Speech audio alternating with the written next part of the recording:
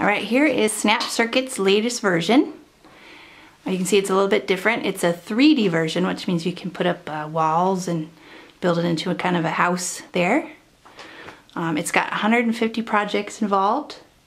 You can build things like radios, burglar alarms, flashlights, doorbells, fans. There's different games. Um, there's a siren in there. There's a projector where you can uh, project images onto the wall. And I want to show you what it looks like when you guys get it so you know what to expect.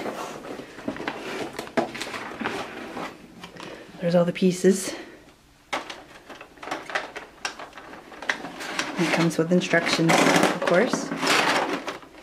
And then I wanted to show you that we put together the, the house version here. See, it's got the, the walls and the roof. And we'll turn it on for you. And it's got this light tunnel. And there's a little blinky light on the other side. And then we actually set up the burglar alarm. So this is what that sounds like.